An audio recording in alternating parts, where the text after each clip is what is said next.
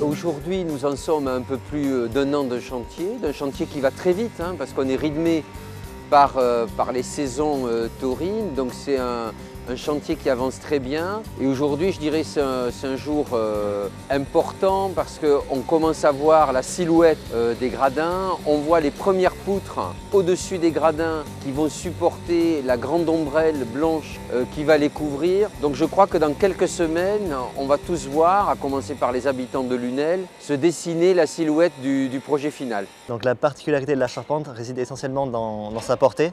Il y a un porte-à-faux de plus de 15 mètres. Pour relever ce défi technique, nous avons conçu euh, des poutres vraiment sur mesure. Ces poutres ont une hauteur qui varie entre 50 cm et 1,10 m au plus haut. Il s'agit ici donc d'un point très important du projet car cela confère à la couverture métallique euh, l'esprit on va dire dentelé voulu par l'architecte. Nous avons eu le souci de garder le lien avec l'histoire, avec la culture du lieu.